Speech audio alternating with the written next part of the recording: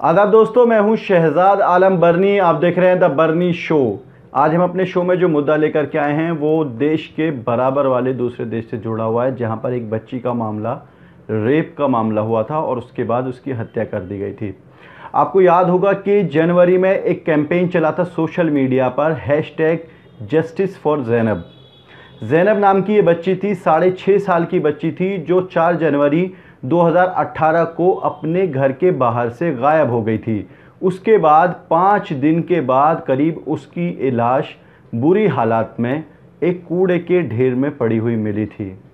پریوار نے آروپ لگایا تھا کہ چار دن، پانچ دن تک وہ اپنی بچی کو ڈھونڈتے رہے، لیکن پولیس نے کسی طرح کی کوئی مدد نہیں کی۔ اس کے بعد پریوار اور اس کے رشتہ داروں نے مل کر کے C C T V footage recover کیا۔ الگ الگ جگہ سے، جس کے بعد اس کی شناخت ہوئی کہ ایک ویکتی اس بچی کو لے کر کے جا رہا ہے۔ اس کی شناخت کی گئی۔ اس کے بعد تیئیس جنوری دو ہزار اٹھارہ کو عمران علی نام کے ایک ویکتی کو اریسٹ کیا گیا تھا، جس کی عمر چوبیس سال تھی۔ عمران علی پر صرف یہی آروپ نہیں تھا، بلکہ ایسے ہی چھ معاملے اور تھے جس نے اس ایریے میں انجام دیے تھے، جہاں پر بچیوں کے ساتھ اس طرح کی حرکت کی گئی۔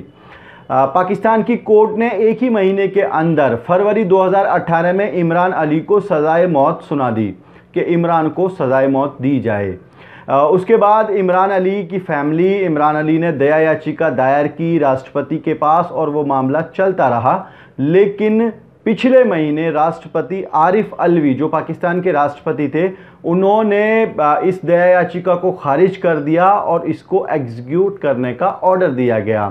سترہ اکتوبر دو ہزار اٹھارہ یعنی کہ آج ہی کے دن ویڈنس ڈے میں صبح میں لاہور کی ایک جیل ہے جو ہے کوٹ لکھپت جیل۔ اس میں عمران علی کو پھانسی پر چڑھا دیا گیا۔ تو یہ تھا پورا معاملہ، جس میں ہم کہہ سکتے ہیں کہ زینب کو انصاف مل گیا ہے۔ لیکن سوال اس چیز کا نہیں بنتا ہے، صرف کہ کسی کو پھانسی چڑھا دی جائے اور زینب کو انصاف مل جائے۔ ایسی نہ جانے کتنی بچیاں ہیں۔ ایک این جی او ہے پاکستان میں جو کام کرتی ہے، ساحل نام ہے اس این جی او کا۔ اس کا کہنا ہے کہ پچھلے چھ مہینے میں مطلب چھ مہینے جو اس سال کے شروعاتی چھ مہینے ہیں، اس میں قریب ڈھائی ہزار بچوں کے ساتھ اس طرح کے معاملات ہو چکے ہیں، جس میں سے ستاون بچوں کی جان بھی لے لی گئی۔ سوال یہ اٹھتا ہے کہ کیا کر رہی ہیں؟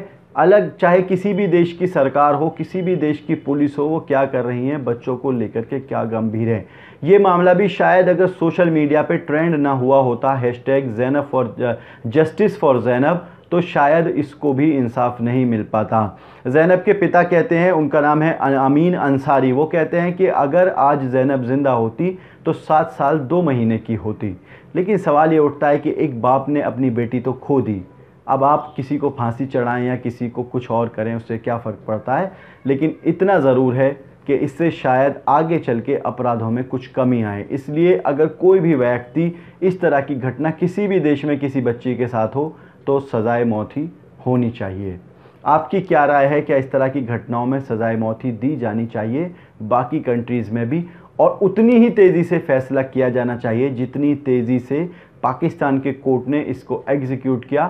کہ نو مہینے کے اندر اس کو پھانسی دے دی گئی۔ ایسا نہ ہو کہ بیس سال تک معاملے چلتے رہتے ہیں، پریوار والے، پیڑت کے پریوار والے اپنا تھک ہار کر کے گھر بیٹھ جاتے ہیں اور کسی کو سزا بھی نہیں ہو پاتی۔